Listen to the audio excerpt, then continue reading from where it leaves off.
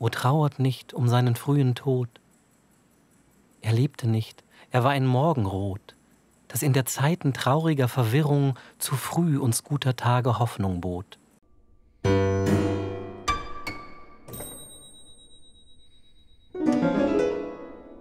Wir sind hier im Schloss Charlottenburg in Kopenhagen. Mein Porträt, das ich so reinlich wie möglich arbeitete, bewirkte mir beim Professor Abilgar die Erlaubnis, auf seinem Zimmer zeichnen zu dürfen.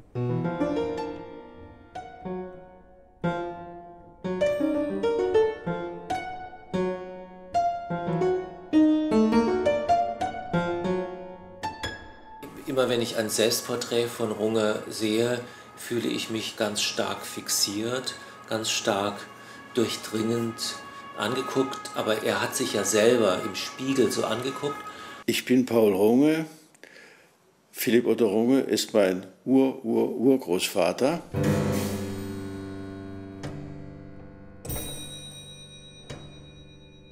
Nach meiner Idee nun soll man nicht allein beim Entwurf eines Kunstwerks den schicklichen Gegenstand wählen. Gütiger Gott, lass nie die Fessel sie fühlen. Sie, lieber Daniel, dass ich für mich allein bloß eine Höhe in der Kunst zu erreichen suche. Was ich mir wünsche, erstlich bei euch und mit dir zu leben, dann, dass Pauline mein wird, doch nicht eher, als bis ich zu euch komme.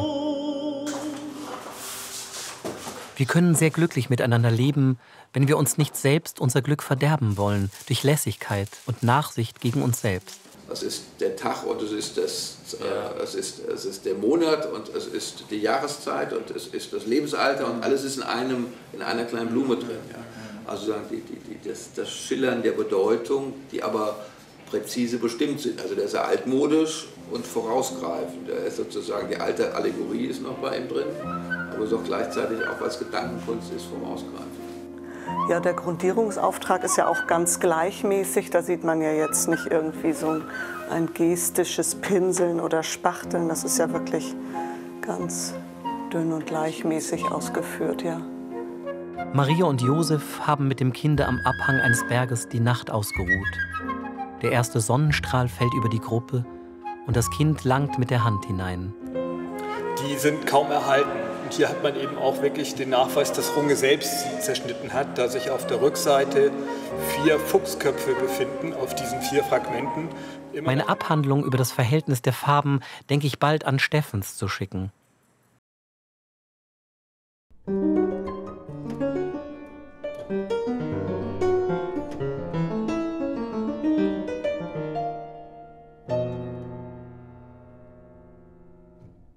Ja, wir sehen hier eines der großformatigen Aquarelle von Philipp Otto Runge, was den Titel Die Freuden der Jagd trägt und was er 1802, 1803 konzipiert hatte. Aber diese Umsetzung geschah dann erst im Jahre 1808.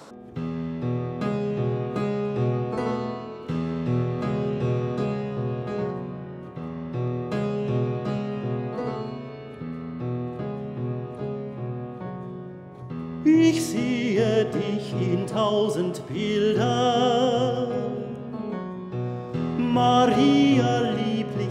ausgedrückt.